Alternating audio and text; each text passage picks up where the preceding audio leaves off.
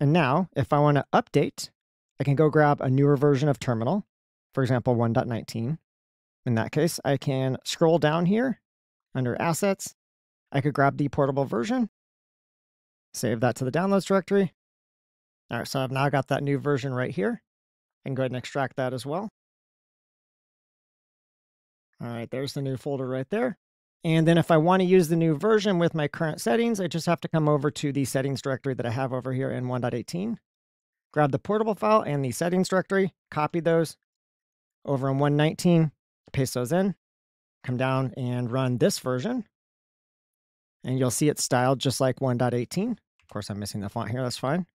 And if I look at the version here, you can see this is 1.19 and it's even marked as portable. So that's all you have to do to update a portable install.